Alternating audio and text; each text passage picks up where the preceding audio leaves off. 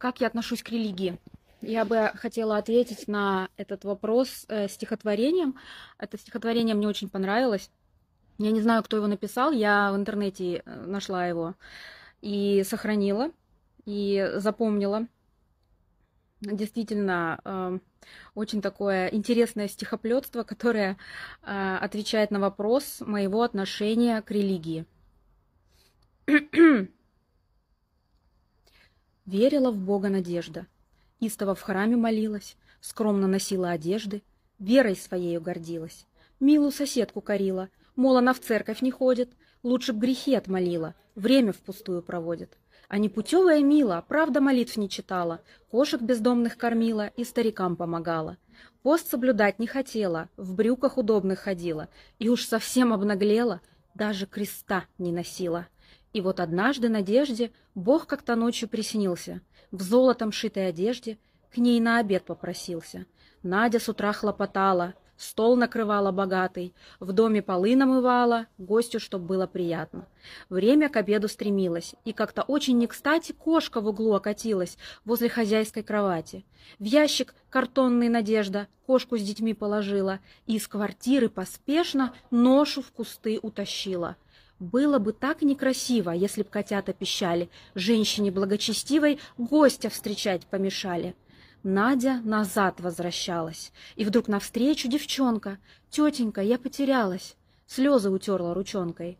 «Вы мне поможете, тетя? Вы доведете до дома?» Надя поморщилась. «Что ты? Мы же с тобой не знакомы». «Где ты живешь, я не знаю. Лучше беги к магазину. Может, тебя там узнает наш продавец, тетя Зина?»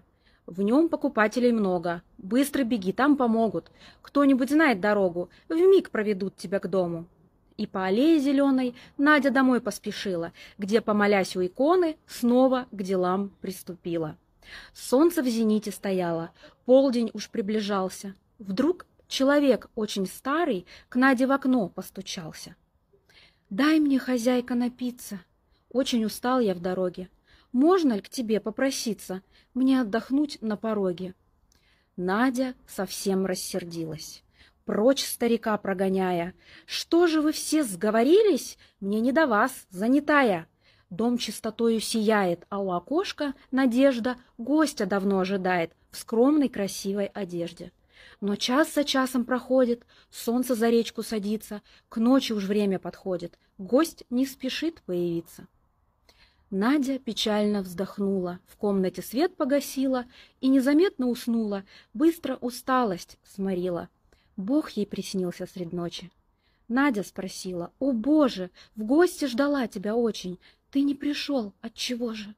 Бог улыбнулся лукаво, «А ведь к тебе приходил я, ты была очень упряма, трижды меня не пустила. И вот теперь я у Милы. Надя всплеснула руками. Господи, как же помилуй! Что с ее-то грехами?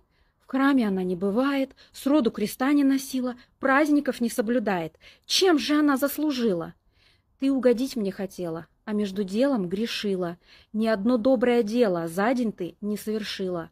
Более важным считала стол, чистоту и молитву, а твое сердце молчало было для Бога закрыто.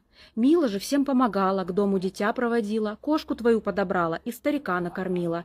Девочкой то и котенком, и стариком тем усатым я приходил к тебе, только ты же меня не признала.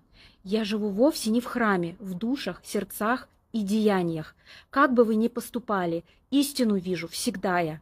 В церковь на службу спешите, в тайне о рае мечтая, выйдя же снова грешите, тех, кто слабей обижая.